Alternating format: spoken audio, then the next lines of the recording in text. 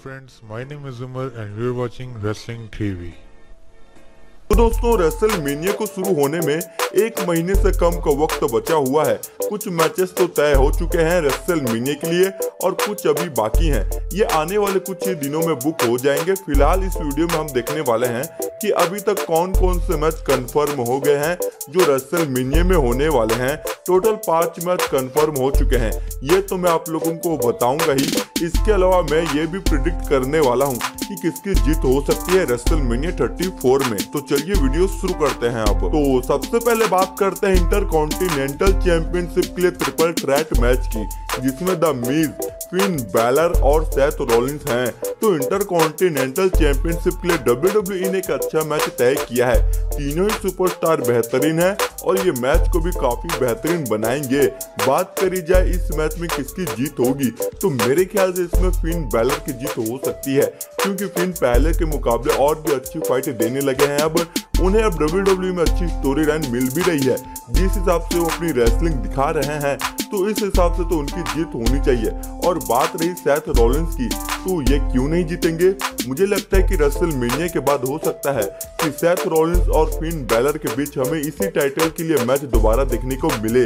और ऐसा होने का पूरा चांस भी है। तो उस वक्त शायद सैथ रॉलिंस ये टाइटल अपने नाम कर सकते हैं। अब बात करते हैं अगले मैच की, जो स्मैकडाउन वीमेन्स चैंपियनशिप के लिए सार्लेट प्लेयर और आस्का के बीच होगा। तो आस्का ने अपने लिए सही अपोनेंट चुना है रेसल मेनिया के लिए।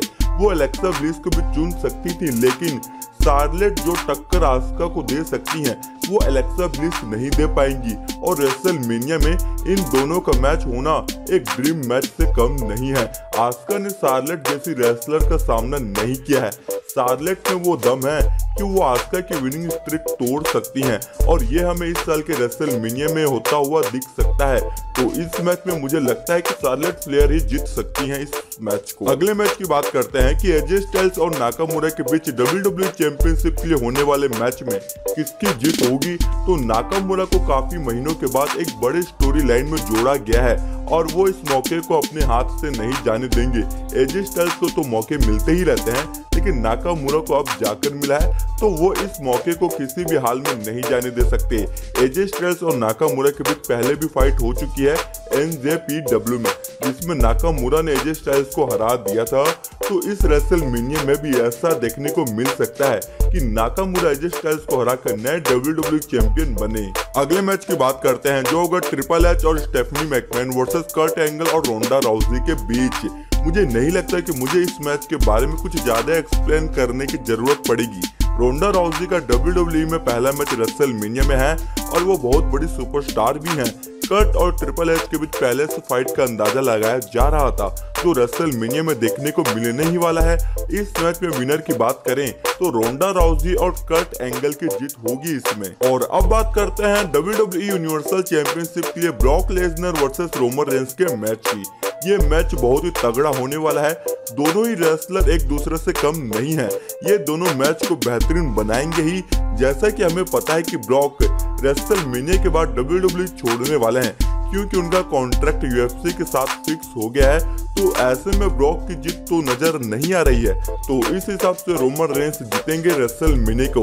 लेकिन कुछ उल्टा भी हो सकता है।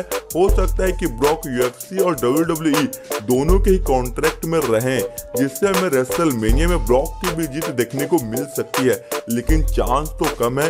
विनर के रूप में मैं रोमन रेंस को ही पिक करूँगा, क्योंकि वो अभी ये टाइटल जितना डिजर्व भी करते हैं। मुझे उम्मीद है कि आपको वीडियो अच्छी लगी होगी तो लाइक ज़रूर करना। कमेंट करके आप मुझे बताना कि आज की वीडियो आपको कैसी लगी और चैनल को सब्सक्राइब करने के साथ उस बेल आइकन को भी प्रेस कर दीजिए ताकि आपको हमारे चैनल पर इसी तरह से डब्ल्यू की अपडेट्स न्यूज़ रूमर्स और कुछ इंटरेस्टिंग बातें जानने को मिलती रहे। So see you guys in my next video